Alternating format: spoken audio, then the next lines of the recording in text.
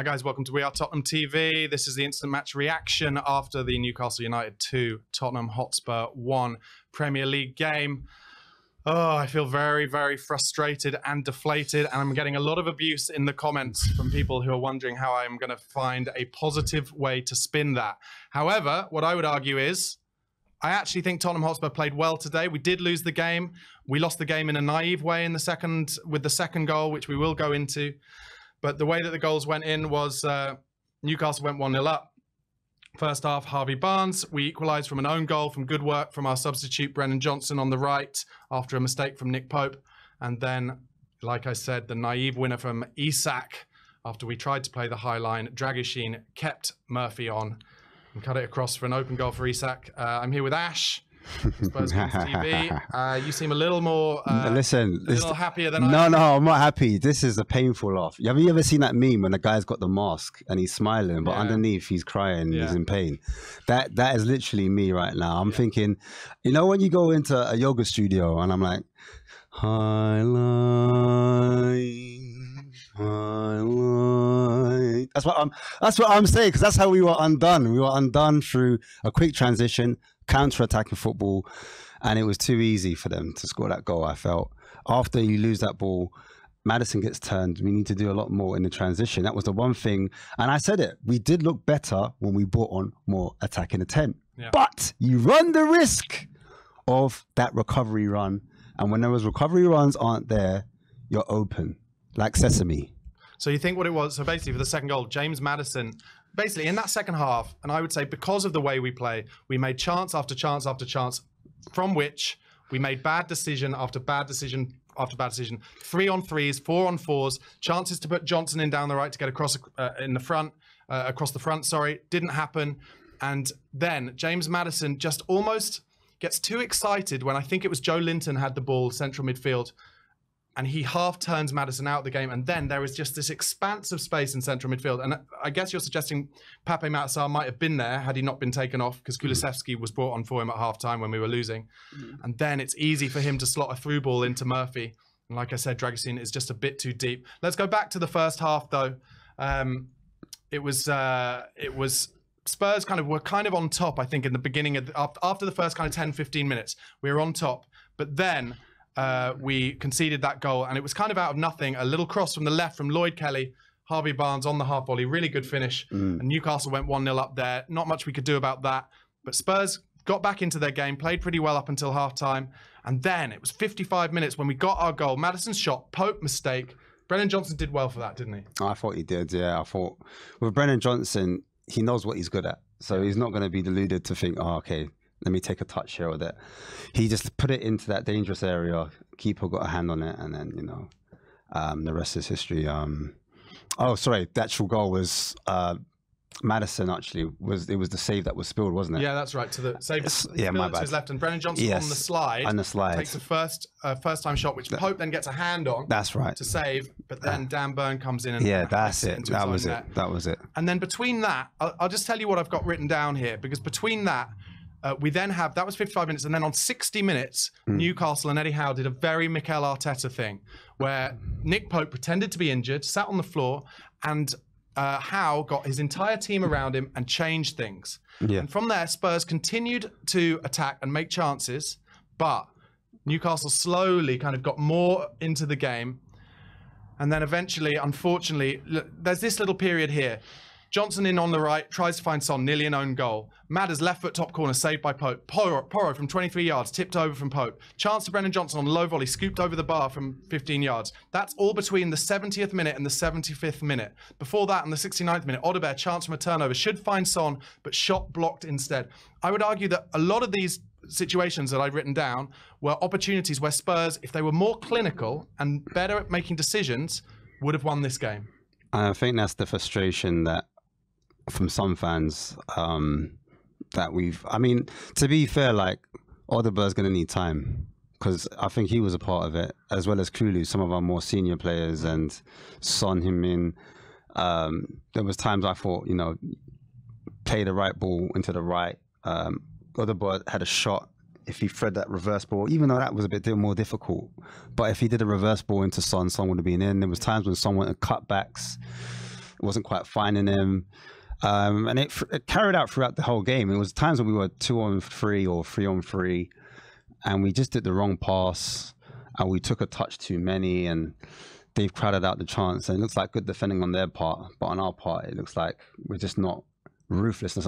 Ruthless, like Roy Keane was saying. Roy Keane was saying we just we just don't have killers in those. And I remember under Conte and Mourinho, to be fair, when we had those chances, Kane we, and Son. we just took them. Kane and Son. We took them. So how obviously a lot of people in the comments, you know, very reactive saying Ange out or whatever. Hmm. How do you answer people who are saying that when actually Spurs have made enough chances and half chances there to win the game comfortably? That's not about Postecoglou, is it?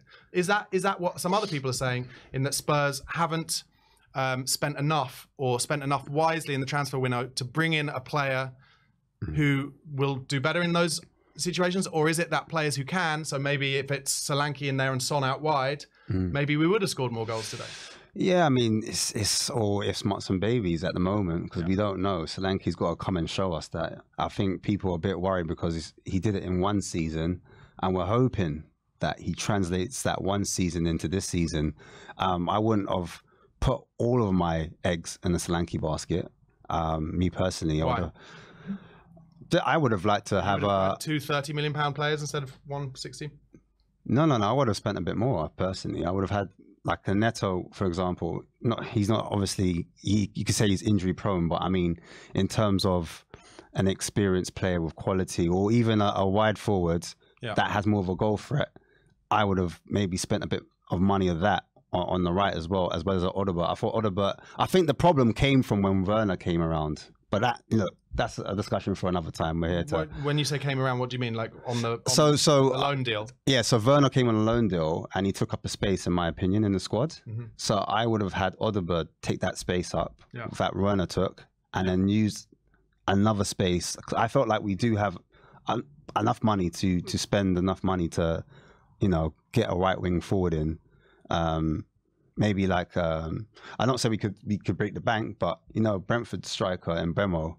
He's scoring goals for fun. I thought Mm. Yeah. maybe if we showed a bit more ambition in the window, we could go for a play like that. That's just my opinion, though. I could be wrong. I don't know. So obviously going to the North London derby next, and based on what happened last season, Hmm. when we played Newcastle and Arsenal similarly near each other, Arteta will look at that, and I think he'll try and play a pretty similar way, won't he? Be like, Yeah. come and come and score against us, and if you don't, we'll we'll get you on the transition. Yeah, yeah, I think it's the plan because I, I said it before. Is it a thing where Ange looks at the team and he adjusts according to the team, mm. or is it a thing is no, we need to do plan A better and we just need to execute our chances and then hopefully we get over the line. The problem is we're starting with the same front line more or less than we that that we had last season. Well, hopefully Solanke will be there and. Well, we're hoping that Solanke is going to be clinical in those moments Yeah. and get us over the line. I personally think Solanke will get us goals in terms of clinicalness, I'm not too sure. I think he might need one or two chances before he converts. Um, if it's on the plate, I expect him to finish, but those harder chances, he might not be able to, you know, convert like you know those hard angles. That's just from what I've seen of him. Of course. Um, so that's that's just the worry. So I feel like we've built for the squad for the future. Yeah. But in terms of now, I'm looking at it like we're just a little bit off. We're We just are. a little bit off. And we're know. lacking the leaders required to get ourselves out of difficult situations like we got 100%. ourselves in today. 100%. I want to talk a little bit about 100%. Radu Dragusin. Obviously, he came in uh, because Micky van de Ven wasn't fit. I thought in general he had a really good game. Yep, I thought Uh, so. He was just, and maybe this is just the reality of not having played a lot of games, but he was a yard deep on that high line. Mm. Correct. And he was the one who kept Murphy 100, on. bro. But he looks like a player. He's a he is a leader. I like him. Yeah, he did really well up until that point. I thought he had a good game. I thought he he actually um, got up for a lot of headers, won challenges as well. Yeah. On the ball, very good. Um, he wasn't nervous in possession, didn't hide at all, and even on set pieces on the corners, he was he made himself known. He was present. Um, had a little battle with Joelinton. I saw there, and um, yeah, he wasn't phased at all. I thought he had a good game, but. Yeah, it's just those moments. That's what sport's about. Elite sport is Yeah. about those finer details Yeah. and so as they say in that film um it's all about the millimeters the inches Mm-hmm. do you know what i mean and yeah that's what ultimately cost us the game Um, Pape Massar started the game today, and um, he was brought off at halftime to bring us another creator onto the pitch, and we were much better in that second half. I, I take your point certainly, though. Could we have done with him potentially in that transition for the goal? Yeah. But I think we should maybe have been 2 1, 3 1, 4 1 up at that point. Yeah. Um, obviously, Kulusevski played inside when that happened. Brennan Johnson went on the right. Yeah. But against Arsenal, it's not realistic that he's going to play. I mean, it's after the international break, so it's a long time away. But Hmm. it's not realistic that he's going to play Kulusevski and Maddison in that game, is he? No, So I maybe he'll bring much. Bentancur back in to play with Bissouma. Do you think? Um, uh, yeah, I mean, I think Solanke will, will feature, will start actually Yeah. in that game. That's true. Um, so that's going to change the formation completely. so Uh, would come out. Will play on the left. someone will play on the left, yeah. Um, or the book could, you never know. Or the book could start on the right, you never know. Actually, but he did start on um, right so, so there's an option there, and then in the midfield, it could be the same Maddison Bissouma start, and then on the right, it, that's where the question marks are. Who do we go for on that right hand side? That's a debate for everyone to have in the comments. Before we leave you, I just want to ask you, Ash, how are you feeling about the Ange project, Spurs project as a whole? Are you Yes. as negative as some of the people in the comments, or is this just one of those things hard to go to St James's Park, get a result? They did a number on us tactically. Or are you like, Ange needs to actually change his tactics in games like that and almost play like defensive versus defensive and see if we can nick the only goal of the game? No, I mean, I think the problem I had with it was in the window. I thought we needed to buy real killers in front of goal. Um, if you're going to play that way, you need to take your chances, and that's why I was disappointed in the window when we didn't really go out for quality. Who would I that mean- be? Like an ideal player, to, like Eze? That's who I wanted. Yeah, I think Eze was was my number one. I was screaming for that on all channels every time people. Yeah. Well, I was saying like just then I said um Mbeumo in terms of a goal Oh, yeah. threat. Yeah. I think him on the right is slightly different profile to what we have. Um, someone that runs in behind, someone that's able to be clinical in the final third. Like he's good finishing. So you're not just relying on Son or Maddison to bail you out, or even Solanke. You've got another player that is a goal threat, which actually pushes their backline further back. Do you know what I yeah, mean? I do. And so that it asks, all I want is our front line to ask questions. And then when those moments come and we do get a small chance, we put it away. Because I feel like when we're in that transition, we don't trust all of our players. It didn't look like they were trusting Brennan Johnson in the second half. There were two I'm being honest. to lay him in. And the weird I'm thing about honest. that is, it's in those positions where he does his best work, where it's just first, he, the ball's going to come to him first time across the front. Into Son, That Son was yeah. different game. Anyway, guys, uh, that has been the match, instant match reaction to the Newcastle 2, Tottenham Hotspur 1 game. We will be back in about 15 minutes' time with a fan phone in show. Make sure you give us a call. The details, the link will be in the community tab.